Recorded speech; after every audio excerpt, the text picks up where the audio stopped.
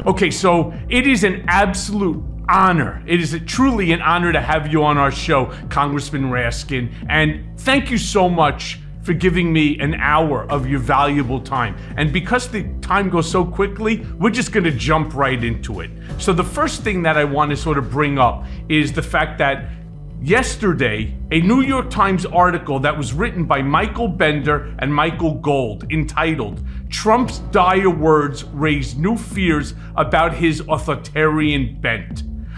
I don't know if you've had a chance to see it, but it is an absolutely terrifying article on something that I have talked about for years now, and that is that Donald Trump wants to be an authoritarian that and i'm going to give you a quick quote from the article itself. Um, he turns around and it says mr trump's allies dismiss of course the concerns of as alarmism and cynical political attacks.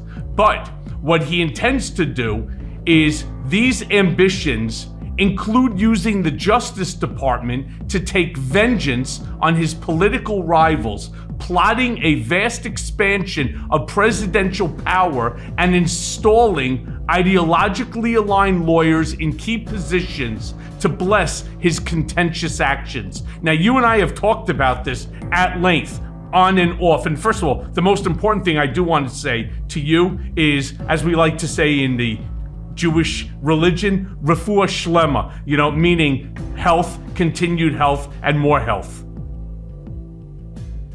Michael, it's a it's a real pleasure to be with you, man, and um, thank you for everything you've been doing, and thank you for having me on the show. I've been looking forward to it, um, and thank you for your kind words. I just had my six month checkup after um, the chemo ended, and everything looks good. They couldn't find any cancer cells, so I'm hanging tough. Um, meantime, uh, the body politic is still suffering um, with uh, Donald Trump uh, at large and him having consolidated his power and control over the Republican Party, um, which is now operating like an authoritarian party. You know, the political scientists tell us an authoritarian party is one which does not accept the results of elections that don't go their way.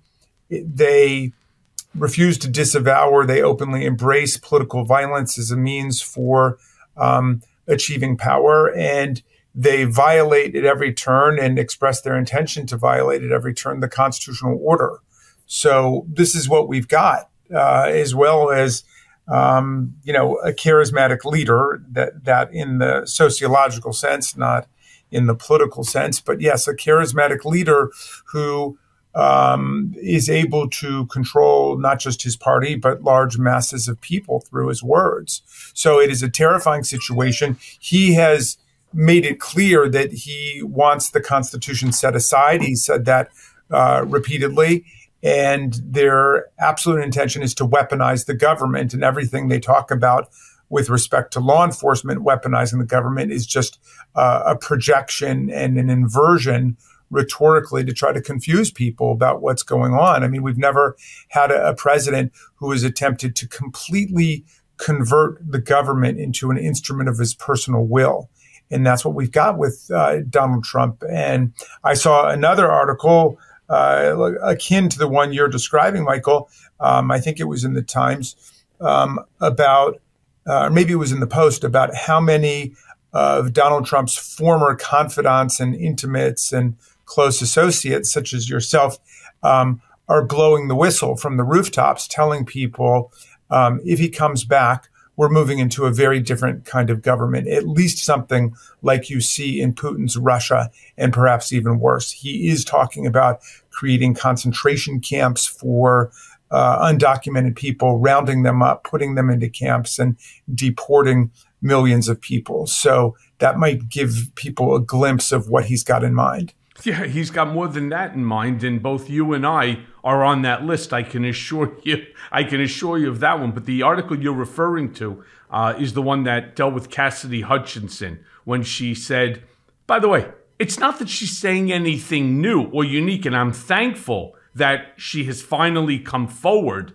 Would have been nice if she would have come forward a little earlier, right? But um, she's been saying or parroting what I've been saying." What you've been saying for an awfully long time. In fact, Congressman, I actually called on you uh, and asked you as a favor. I do intend on putting through pardon application. And one of the things that we talked about, which is I suspect why you agreed to even produce the letter for me. And if I can, I'll just quote one fast line. Mr. Cohen has done good time for his offenses, endured outrageous and unlawful retaliatory punishment in the form of more than two weeks in solitary confinement in prison for refusing to surrender his First Amendment rights. I mean, that is exactly what Donald Trump intends to do. He intends to rewrite the Constitution on day number one. He intends to destroy our tripartite system of government, confer all power to the executive branch, namely himself.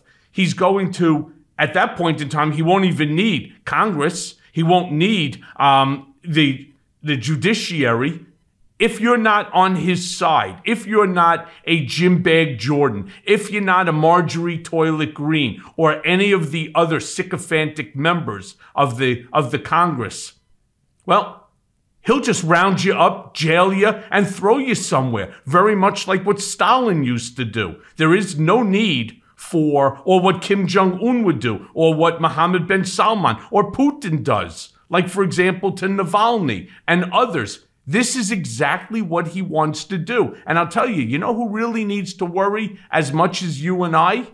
Are the uber, uber wealthy, the Elon Musks, the Zuckerbergs, right? Uh, you know, all of these, you know, billionaires, because the first thing he's going to do is parrot what Mohammed bin Salman did. He's going to round them up. He's going to put them on little cots at Mar-a-Lardo in the in the ballroom, and he's going to have them sign over their vast wealth to him because he never wanted to be president of the United States. He always looked at this as it was supposed to be the greatest infomercial in the history of US politics. Now he's already tasted what the power is. He knows what he's done. He certainly tried it with me. And thank God for Alvin K. Hellerstein and my attorney, Danya Perry, for having me released. But Look at also January 6th. These are practice runs for him. He now knows what he can and he can't do. And my real fear is on day number one, right after he gets sworn in, he tries to change the Constitution, and anybody that's going to go against him is going to feel his wrath.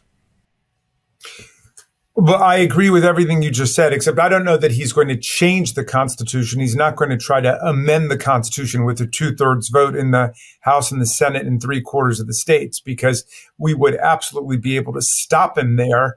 Um, he will just avoid and trample the Constitution as he did in your case.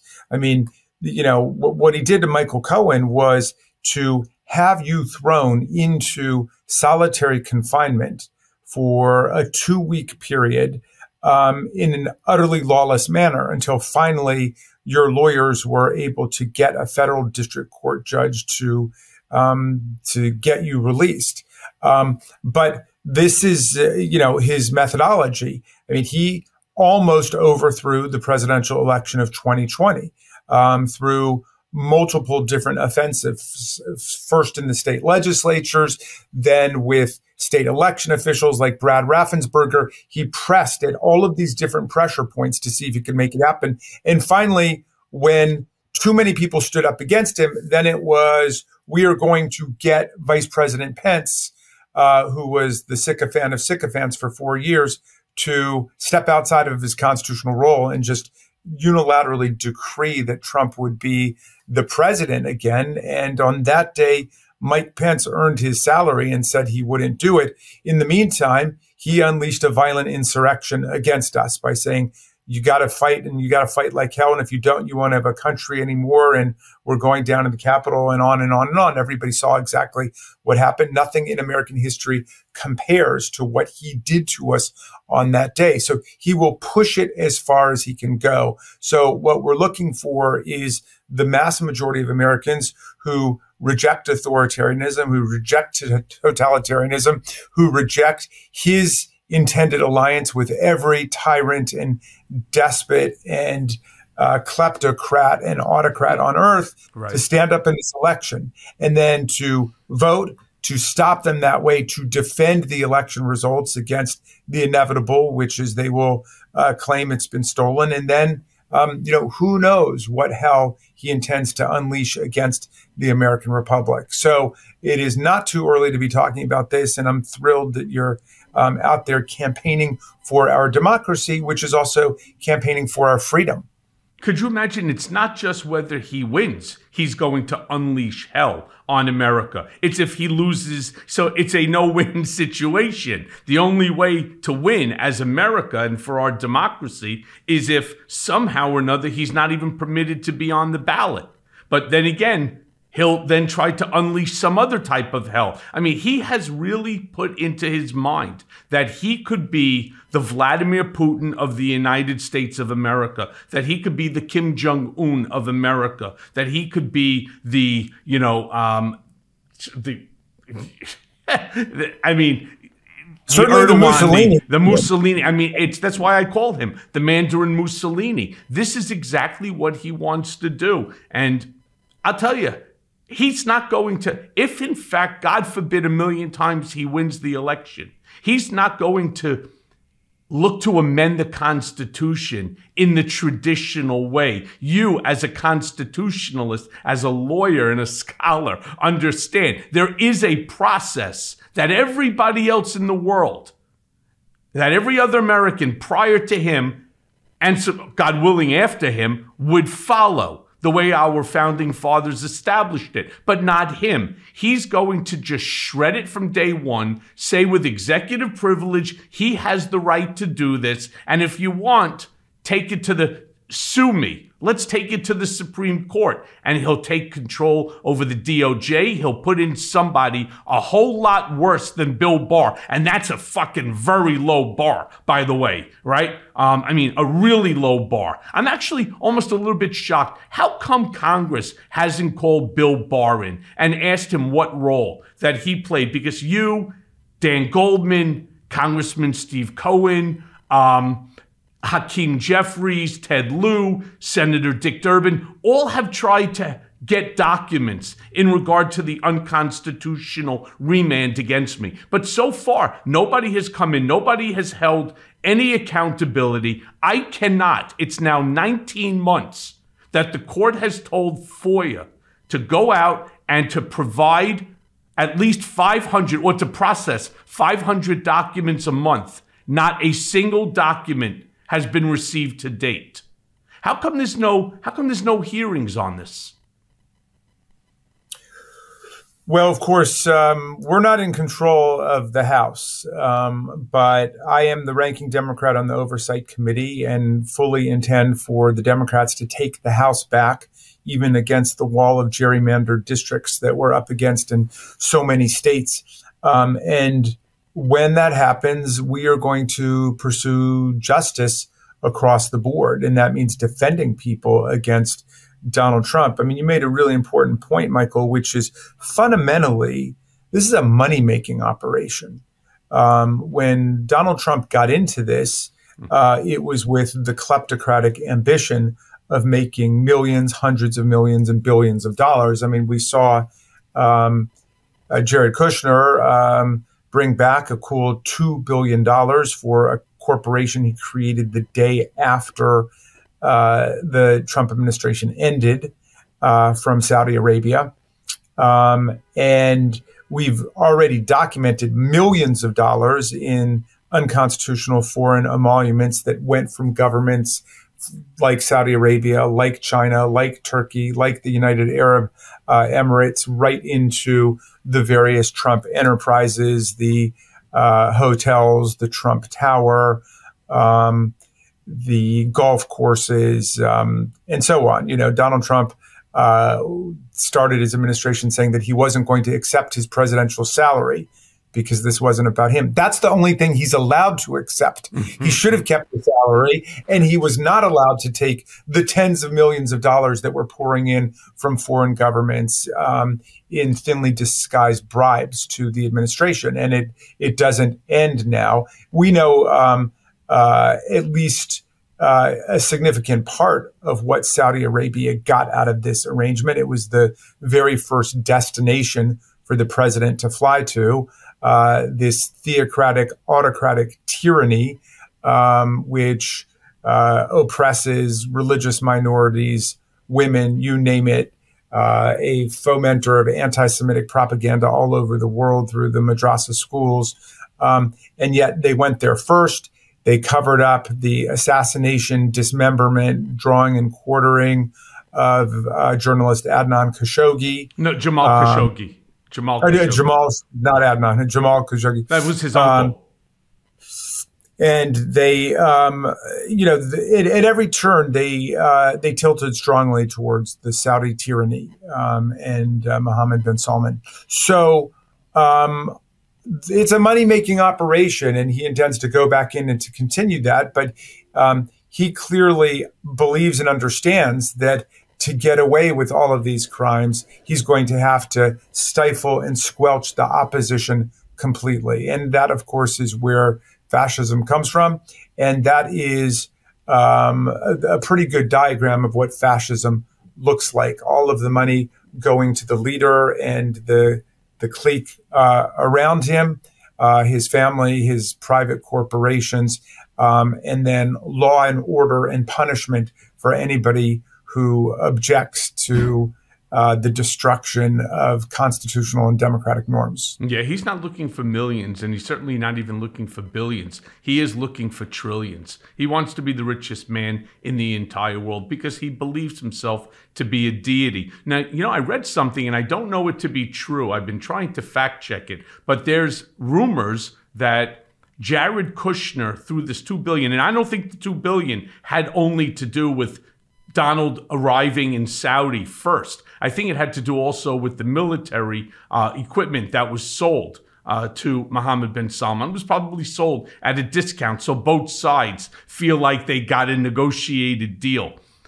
But I, I read somewhere that Kushner, through the $2 billion that had come into the fund, invested into Univision or into one of their entities. And that's one of the reasons why Univision has now elected. And again, I don't have that to be factual, but it certainly sounds like the Trump playbook that I would know. You know, you can't control. Let, let me be clear about something. During the 2015 announcement, after Trump completely um, made an ass of himself with his Mexico and Mexican comments, Univision pulled away and they didn't want to be members anymore of the Doral, which abuts the back of the uh, property. They refused to do any functions and events there. They canceled, and it's like 10 million a year in terms of business. All of a sudden, there's a little new regime there now. Uh, Jared Kushner's got $2 billion. And all of a sudden, they're now saying that Biden can't or sue any PACs that have to do with benefiting Biden cannot be run on that. I don't understand why the FCC doesn't pull their license. Well, you're making a great point, which is, you know, a right wing authoritarian government like this is not just an assault on democracy and the Constitution, it's also an assault on the free market. I mean, the market is free as long as your corporation, your business goes along with exactly what uh, El Jefe is telling you to do. um, if you cross Donald Trump, he will try to use the government to crush you. Um, and I know that all too well, my friend. yeah, and uh, and you know he's willing to do it to large corporations, not just um, you know New York lawyers who used to work for him. Um, you you know you're either going to be in his pocket and he's going to tell you what to do to enhance his power, or you're an enemy and he is out to destroy you. I mean, that is the fascist worldview. It's just um, friends and sycophants and then enemies. Yeah. And you choose.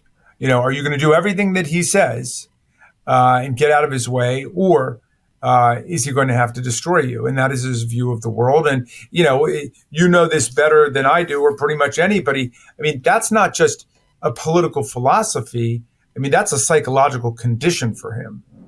Um, you know, it's like judges. A, judge, he doesn't believe in uh, the idea of any objectivity or neutrality in law. So a judge is either in his pocket, he controls them, um, like the judge in Florida, uh, who's on one of his cases, um, or uh, the judge is a sworn enemy um, and an evil Democrat and vermin and so on. Yeah. So let me move on and ask you this because on Monday, the Eighth Circuit Court of Appeals moved to drastically weaken the Voting Rights Act by barring private citizens and civil rights groups from filing lawsuits. I mean, how much of a setback for voters' rights is this really? And do you expect that it'll end up in front of the Supreme Court? Well, it will with a predictable outcome. Um, look, the the Supreme Court already dismantled uh, the central mechanism of the Voting Rights Act, which is the pre-clearance mechanism in Section Five, and that was in the Shelby County versus Holder case, where the Supreme Court said that the coverage formula was out of date and therefore unconstitutional. Therefore, it was going to essentially usurp con- Congress's power to enforce the 14th Amendment and uh, rip the Voting Rights Act to shreds. All that was left was this Section 2 provision that would at least allow people to sue after the fact.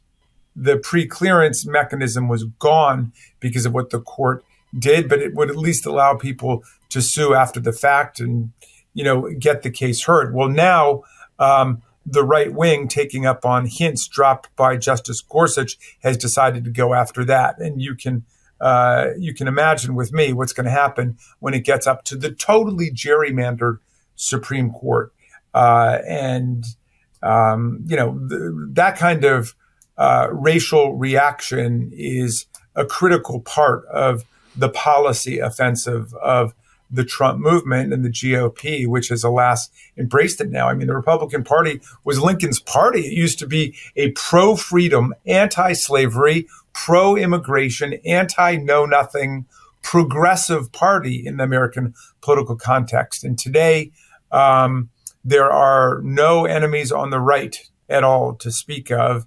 And uh, anytime there's a showdown between democracy and fascism, uh, they see very fine people on both sides. And increasingly, they just see fine people on the side of authoritarianism. it's, uh, it's so scary. You know, I'm going through this something a little bit similar uh, with the Bivens case that was overturned. Um, December 14th, I'm actually um, going to the appellate court uh, here. Um, we believe, and I'm 100% certain, that our argument uh, should win the day, um, especially considering it is of what was done to me in terms of making me the first political prisoner held in this country. Um, you know, it's the most unusual of circumstance. But I want to move on because I, I sit and I listen to this Freedom Caucus, and I'm so confused by them because seemingly more and more Republicans on the Hill are going completely off the rails, devolving into this verbal and physical attacks, and not just, of course, against Democrats, but on one another. And as a result, the House isn't getting much done in the meantime, not at least for the American people. So, what can Democrats in the minority get done when the majority has seemingly lost its collective mind? Well, we're, trying to work very closely with um, the Senate, where there is a, a, narrow Democratic majority, and with the White House to keep moving things forward. I mean, um, it, it's amazing that in the face of all of the chaos and the dysfunction and incompetence unleashed by the Republicans that we were able to pass the bipartisan infrastructure act. Um, you know, I sat there for four years under Donald Trump. We had an infrastructure week, we had infrastructure month, we had infrastructure press conferences. We just never had an infrastructure bill. Uh, they never got it done. Uh, and Biden came in in a, in a second month, I think, um, we brought that out, got it to the floor, and we passed it a $1.2 trillion investment in the bridges and the roads and the highways and the ports and the airports and rail and trail and uh, high speed internet access through broadband. We did that. And we did the same thing with the Chips and Science Act. And we did the same thing with the Inflation Reduction Act, which is a record investment in wind and solar and alternative energies to break the control of uh, the carbon barons over our economy and over our future because um, the climate has been destabilized and it's a danger for everybody. But also in the, the Inflation Reduction Act, we dramatically lowered um, prescription drug costs in the Medicare program.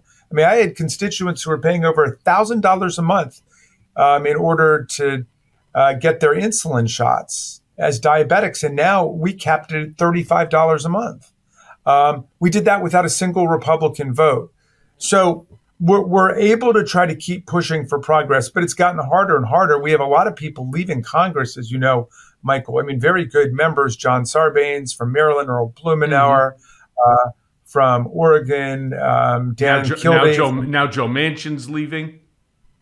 Yeah, I mean, dozens and dozens of people are saying that they can't take it anymore. And of course, that's all part of the process. I mean, you know, I, have got uh, a, um, a, a friend who is from Kansas, Sharice Davids, who actually was uh, a fighter before she came to Congress. She did, um, you know, mixed martial arts and all that kind of stuff. And she said, I left that in order to come here to legislate.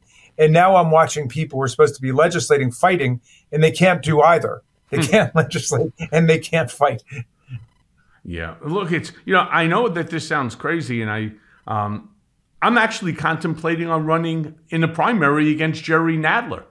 You know, I just I feel that like this young lady, that you need somebody who's willing to fight, willing to put their ass on the line for the country, and not just sit back and you know like you fight all the time. When you were as healthy as a you know as a bull when you weren't as healthy you know and now thank god again you know healthy. You're the you're a fighter. Dan goldman is is a fighter. I'm watching this kid moskowitz who's a fighter. You know they're not afraid to say what the rest of us are all thinking and then you have a whole group that they just like, like, oh my God, let me put my head into the sand. And God willing, when I pull it out of the sand, everything is going to be back to normal. We're not going back to normal. Not, not for a long, long time. Not while this ideology of Trumpism still exists. Because as I finish my book, Revenge, Trumpism is fascism. And we need to eradicate it from our body politic. Plain and simple. Um, you know, and we need to defend the rule of law and the Constitution. And that's, you know, that is ultimately how we are going to defeat Donald Trump. I mean, he's a one man crime wave. Um, and in the Judiciary Committee, you know, under Chairman Nadler, so many of those crimes have been exposed and have been uh, have been surfaced. Um, so I did not think I did not know that you were running for Congress, I, or you're thinking about running for Congress. Um, of course, Jerry Nadler just uh, defeated Carolyn Maloney when their districts were yeah know, gerrymandered. Uh, she's a nice, she's a nice lady too. Yeah. yeah. So but, then, um, can I ask you this, Congressman? So please. respectfully, then, why didn't you? Why'd you stay in the House and not run for the Senate? Well, of course, I was. You know, I was fighting cancer um, and going through chemotherapy um, when all of that kind of uh-huh. came to a head, and um, so I certainly saw it through the prism of um, the precariousness and the the fragility of life, you know. And um, I look the, the, the bottom line for me was that um, I'm the ranking Democrat on the Oversight Committee. If if we win, uh, I'll be chairman of the Oversight Committee. I don't know exactly what Congressman Nadler's plans are in terms of his future and how much longer he'll be in, whether it's this term or one more term or two more terms. I don't know, but it's possible that, you know, that's something that could be in my future, the Judiciary Committee too. And um, I just thought we are in the fight of our lives with these people. I feel about it exactly the way you do, Michael. Um, you know, it's an existential moment for America's experiment in constitutional democracy and freedom. And, uh, you know, I didn't want to spend the next year traveling around Maryland fighting Democrats. I'm out raising mm. money, millions of dollars. I hope certainly more than a million already, but I hope millions of dollars for Democrats in key races around the country. And I feel like it's my assignment to do that. So I wouldn't write it off for the future, but I think I'm exactly where I need to be right now. Okay.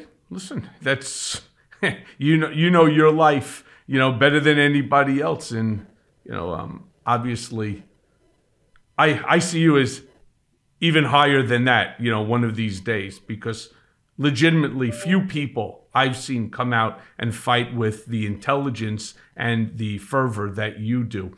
Which kind of brings me to the point of MAGA Mike Johnson. I mean, he's thus far been like this mixed bag as a Speaker of the House.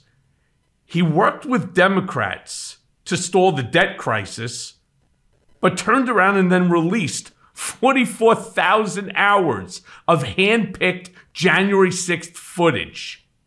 What's your take on MAGA Mike Speaker?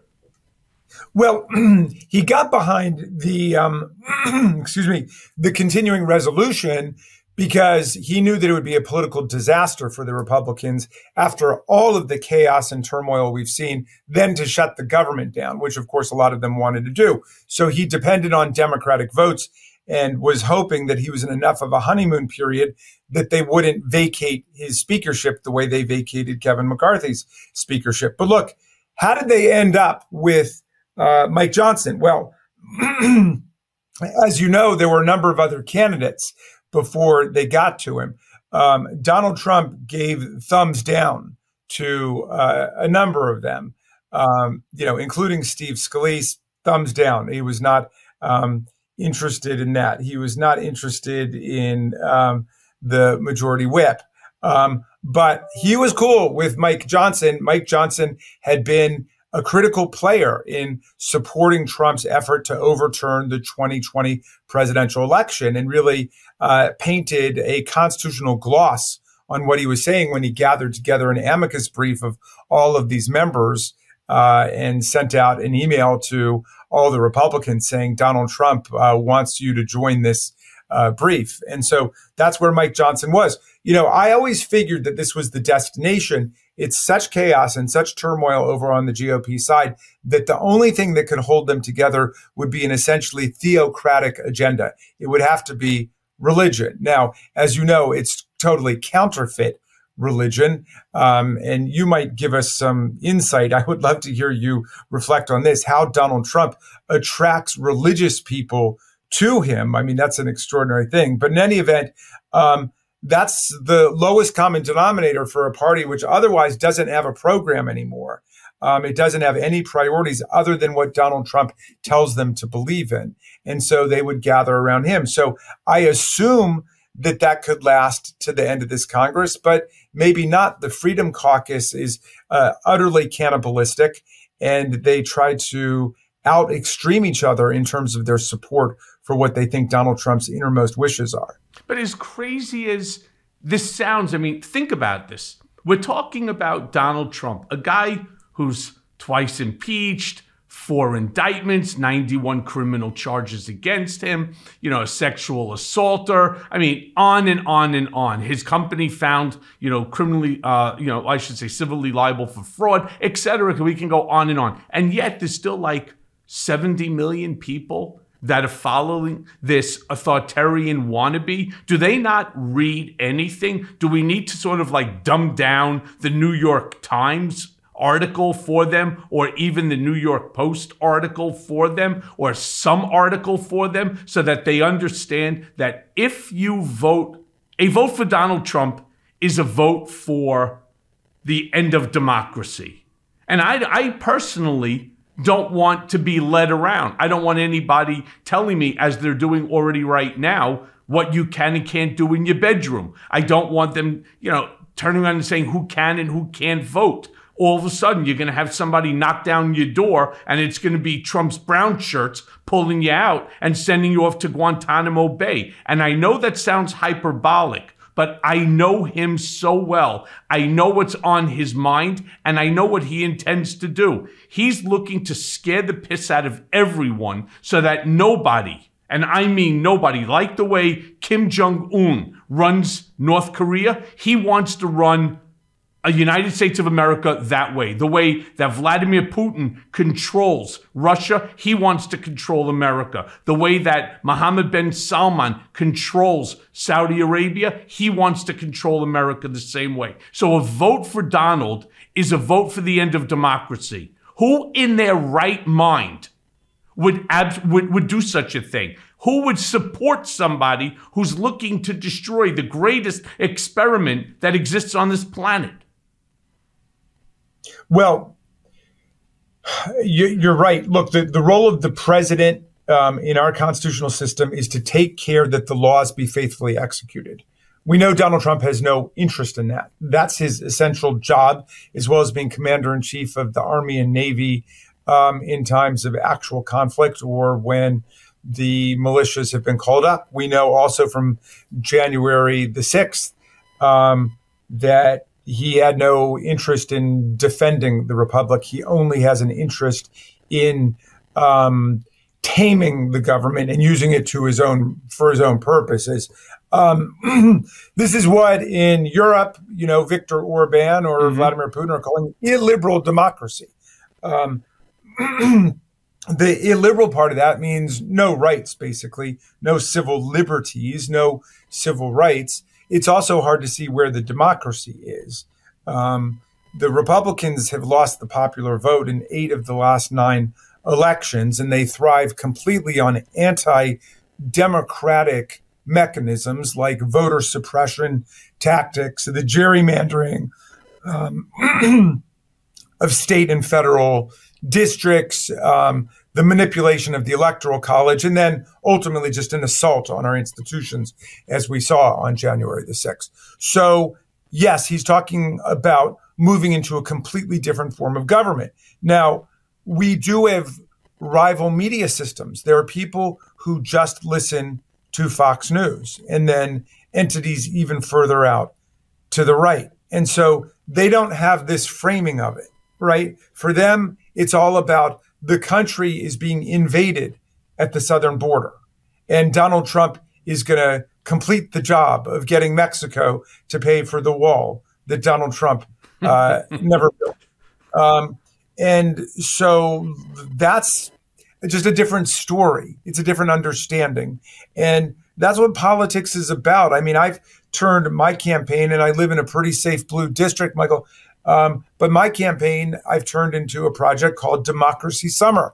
And we get high school and college kids, we educate them first about the actual history of the country and about what's going on in America today, about the struggle to defend democracy against the authoritarians. And then we have them go out and knock on doors and, you know, intervene in the swing districts and go to build a solid blue majority. We're not a perfect party by a long shot, but we are a pro democracy party and we're a pro freedom party. And we're not a party that's under the thumb of a dictator, somebody who would like to turn America into um, Putin's Russia with him as Putin. But we will all be if, in fact, that we're not successful. And what drives me somewhat crazy is so many of these issues could be resolved very quickly with the help of Merrick Garland. Now, I'm not saying Merrick Garland should be the, you know, the the, the comparison to Bill Barr, right? I mean, because Bill Barr was just a yes man for Donald.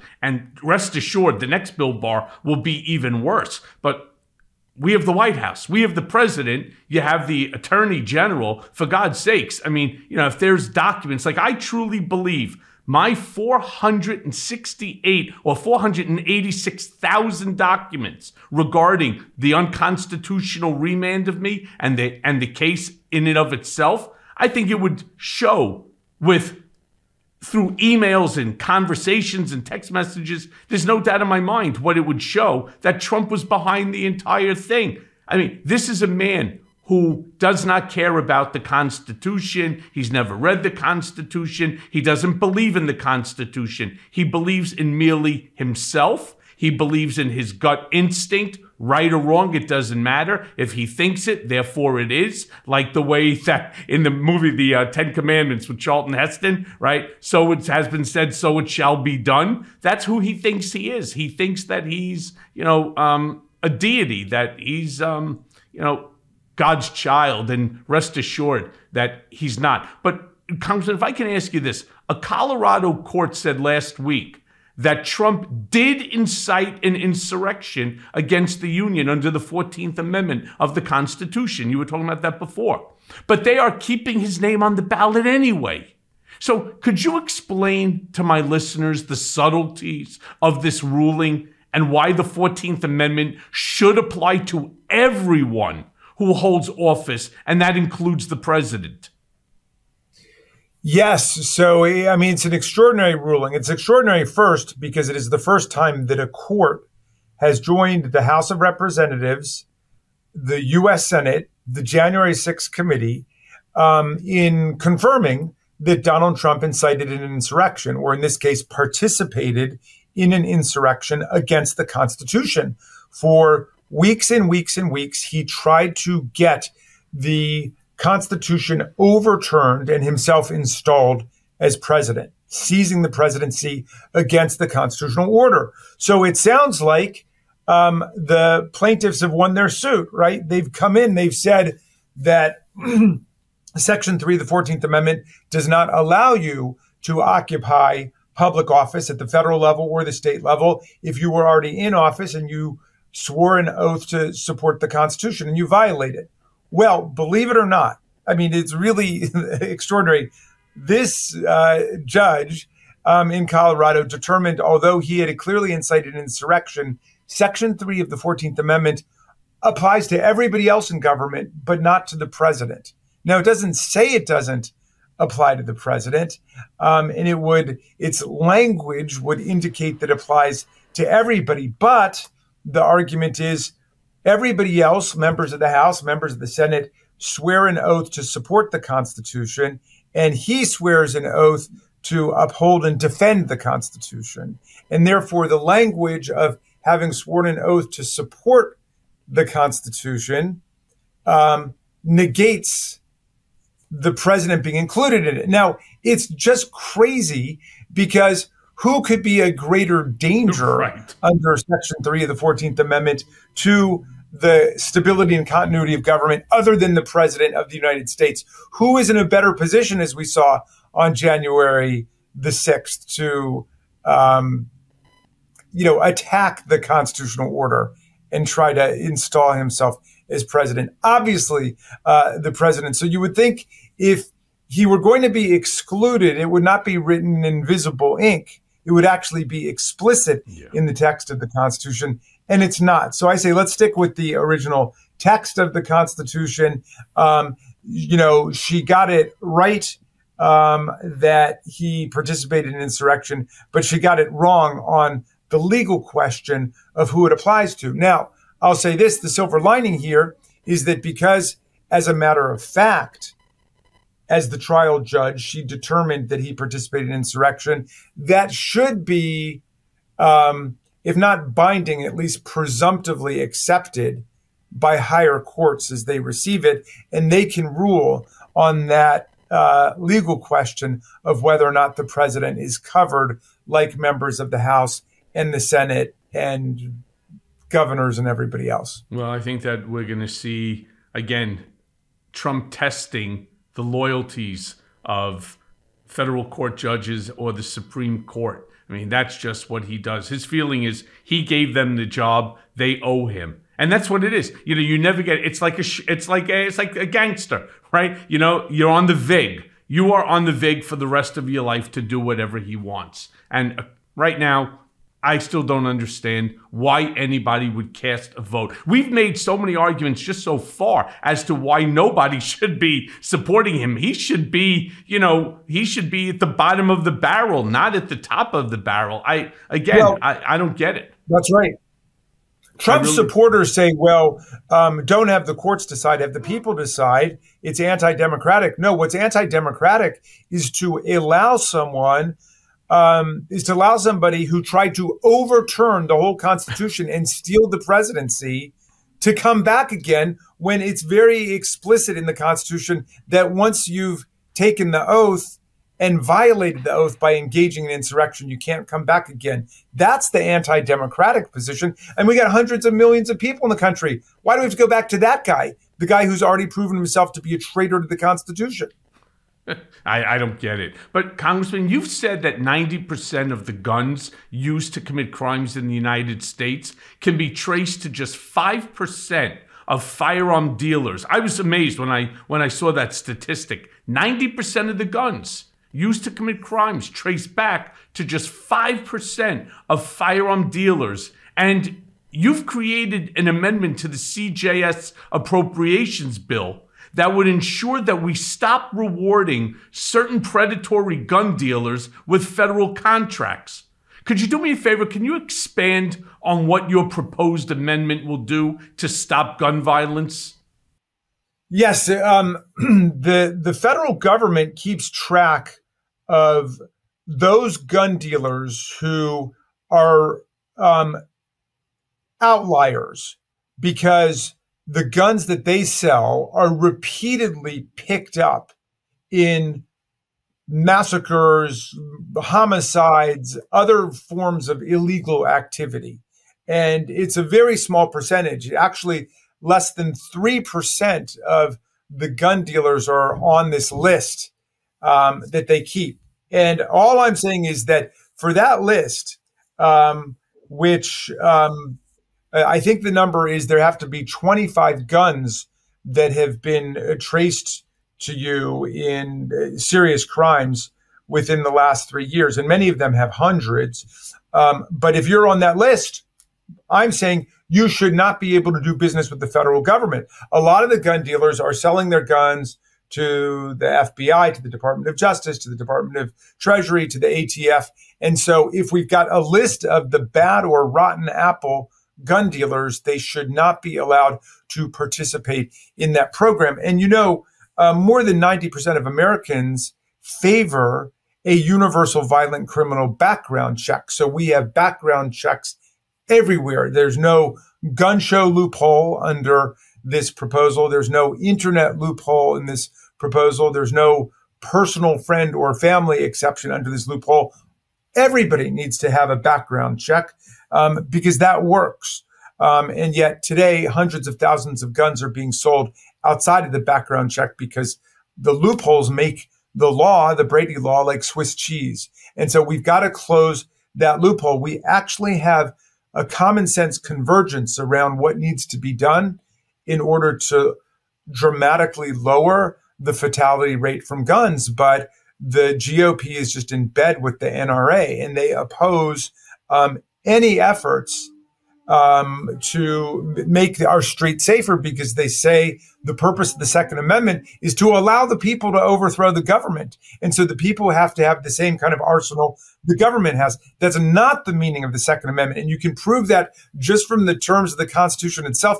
Article 1, Section 8, Clause 15 says, Congress has the power to call up the militias from the states in order to repel invasions and suppress insurrections right? The treason clause, the only place in the Constitution where a crime is defined, defines treason as levying arms against the Union or adhering to the enemies thereof. The Republican Guarantee Clause says that Congress shall guarantee to the people of the states a Republican form of government and assist them in putting down domestic violence. And yet they say that the whole purpose of the Second Amendment is to give the people the power to overthrow the government, like on January the 6th, which is absurd. And that's written in invisible ink too. All the Second Amendment says is a well-regulated militia right. being necessary for the security of a free state, comma, the right of the people to keep and bear arms shall not be infringed. A well-regulated militia. Regulated by whom? Regulated by the government, by the states and the feds. That's not the Proud Boys. It's not the Oath Keepers. It's not the Ku Klux Klan. Those are not militias under the Constitution. No, they're not. So if we could just switch topics altogether, can we talk about the Middle East for a moment? Because on CNN last uh, Sunday, you called for a humanitarian pause or ceasefire between Israel and Hamas, but you stipulated very clearly that it had to include the removal of the terrorist group along with the release of the hostages. Now, I saw just not too long ago that they're claiming that there is a potential deal that is now being brought to Israel in order for the release of hostages. And I don't know all the exact specifications uh, or the specifics to this uh, release deal. But do you think that pressure from the United States is having any sort of effect on what either side does? Um, but I believe so. I certainly believe that um, it's starting to have more and more of an effect on our ally Israel. Um, and I did call for a whole series of steps that need to be taken, beginning with the release of the hostages. I mean, this is a profound humanitarian crisis to have 239 people still being held unlawfully under international humanitarian law. This is a crime against humanity. And then also, at least 11,000 people have been killed in Gaza. It might be over 12,000 people. That is a humanitarian catastrophe and, and nightmare. And we need to make sure that we get in water and food and medicine yep. and fuel and all of those things that are necessary to take care of people. Um, and so that will take a humanitarian pause, um, a bilateral short term ceasefire or a long term ceasefire, if that's what the parties agree to. Um, we should um, we should not write out write off the possibility of um, dismantling uh, Hamas as the terrorist controllers of Gaza through the kinds of negotiations that are taking place now. Obviously, the world doesn't know a lot about what negotiations are taking place. Mm-hmm. Um, but that is a necessity. And then we got to get back to the underlying political dynamics of the situation, um, which allowed this medieval terrorist outfit to get into power there, um, which is the continuing inability to deal with this underlying political crisis. And so there needs to be negotiations towards a two state solution where there is a democratic Palestinian state that is secure and safe and the Israeli state that is secure and safe. And we've got to look towards peace in the future. And um, whatever injustices or human rights violations have taken place in the past are no excuse for terrorism.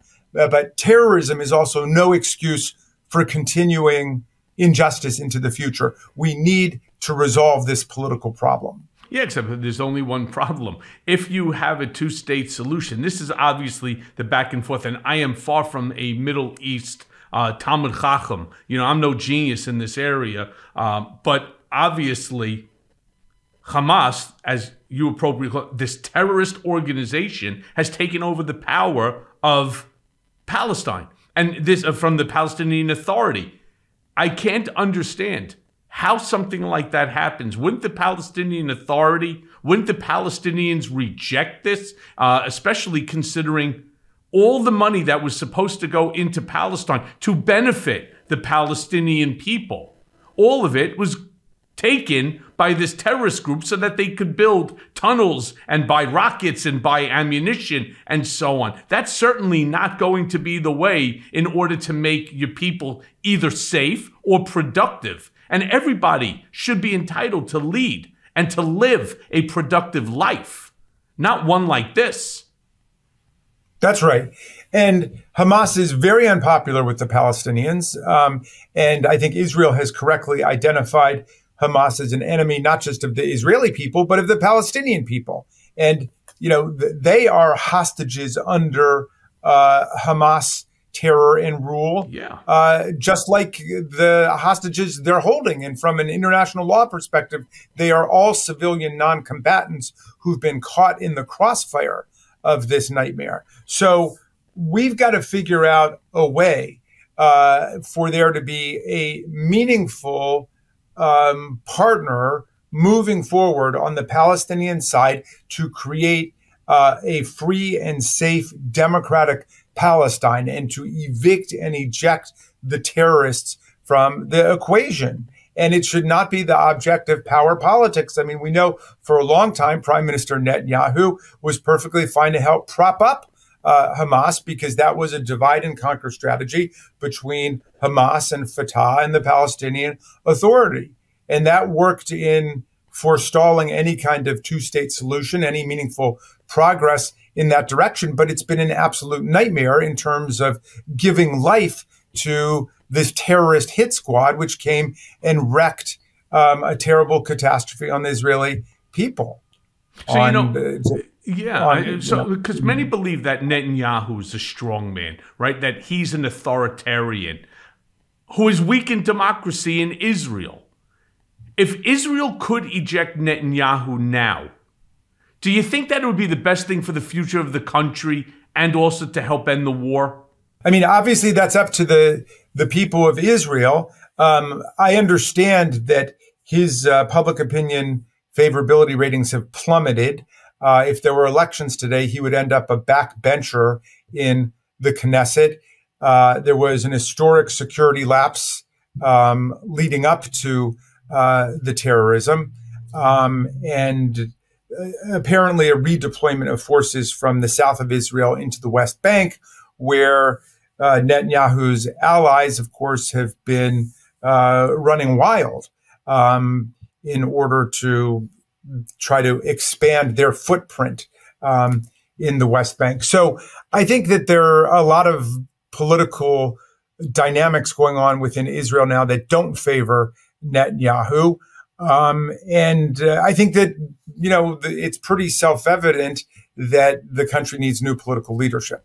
Yeah, uh, I'm not, uh, I'm with you on that one all the way. So, look, uh, Congressman, the as I said, the hour goes by very, very quick. I wish I could spend many more hours with you.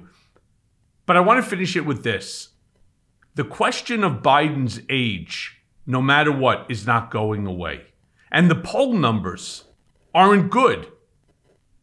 Despite the polls, and despite what people are saying, especially, especially on the right, I think President Biden has done a pretty decent job.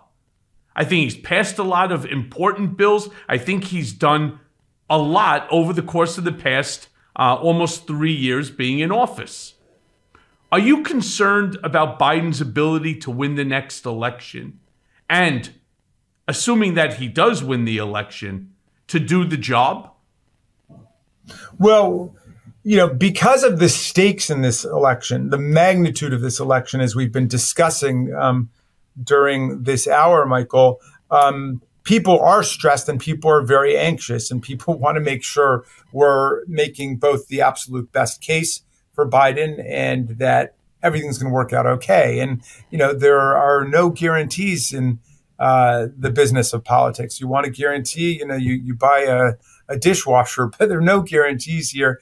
Um, as you say, he's got a very strong record to be running on. I mean, um, yeah. an exemplary record of policy um, progress. And I think that a lot of the tension and anxiety does relate to the stakes of this election. And, um, you know, so far, I've not seen, any, seen anybody presenting a better plan than let's move forward with Biden.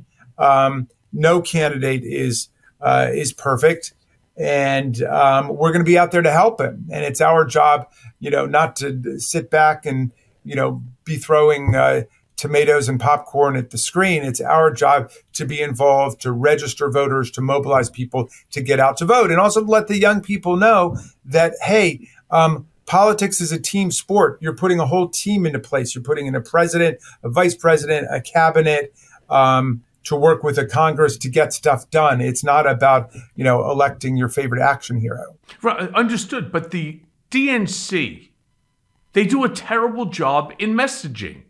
Like, what would you say to Biden today in order to help to rehabilitate these numbers? Because his poll numbers are not reflective of the quality of the job that he has done. They're just not. And for whatever the reason is, He's not getting the message out there. He's losing, as we now know, Latino votes, which were very big for him in terms of winning the election in 2020.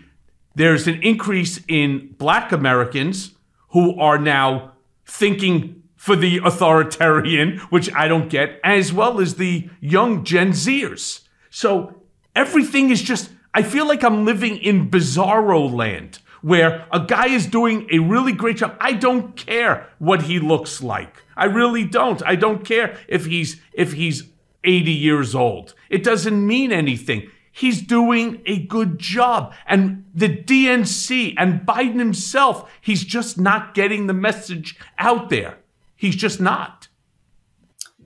Well, you know, the, whenever I travel around the country, I got to say that the single thing that I get uh, most questions about of a critical nature is messaging and how come, you know, the DNC or the White House is not doing a better job messaging all of the remarkable progress we've been able to make against the most adverse circumstances. And all I can say is, um, you know, the president is obviously buffeted on all sides by Ukraine, by Israel, by Congress, everything that's happening. And it's going to be our job to go out and tell part of that story. And if you need a message, I'll leave your, your great viewers here with a, a message, Michael, which is everything that you need to know about voting is everything you need to know about driving. So tell the young people in your family at Thanksgiving. If you want to go forward, you put it in D. If you want to go backwards, you put it in R. Ah, That's all good. you need to know.